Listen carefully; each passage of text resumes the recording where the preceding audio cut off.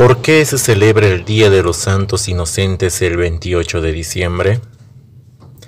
El Nuevo Testamento, San Mateo relata cómo, cuando nació Jesús, el rey Herodes ordenó una matanza en Belén para acabar con los niños menores de dos años y asegurarse así de que el anunciado Mesías, futuro rey de Israel, era asesinado. Desde entonces, la Iglesia Católica conmemora cada 28 de diciembre la fiesta de los santos inocentes, para recordar esas crueles muertes infantiles. La tradición popular lo ha convertido también en un día para gastar bromas inocentes. En los países anglosajones se celebra una fiesta similar el 1 de abril, con el nombre de Fool's Day, el Día de los Tontos. Para un cristiano del siglo XXI, esta una de las páginas más crueles y difíciles del Evangelio.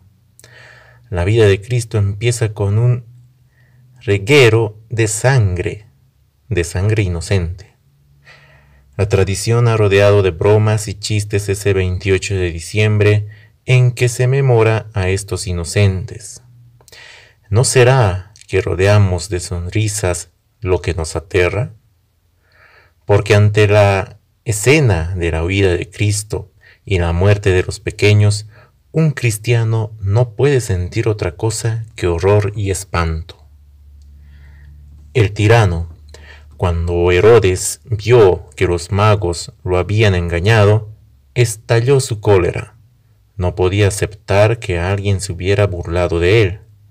Lo que le preocupaba al rey no era tanto el niño, sino un posible movimiento mesiánico en torno a él, lo que podría dar origen a una sublevación.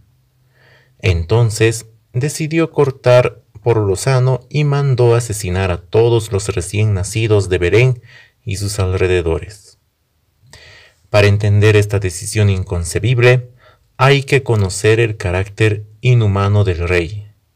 El historiador Josefo dice de Herodes que era un hombre de gran crueldad hacia los demás y relata varios de sus crímenes, tan espantosos y repugnantes que la matanza de unos cuantos niños judíos parece poca cosa, y Josefo ni la menciona. Lo que sí menciona es que en sus últimos años mandó matar a tres de sus propios hijos, y antes de su muerte decretó eliminar a los principales nobles de su reino, lo que ya no pudo realizarse porque el tirano murió antes. Solo un hombre tan cruel y violento como Herodes pudo ordenar una matanza tan bárbara como la que cuenta el evangelista.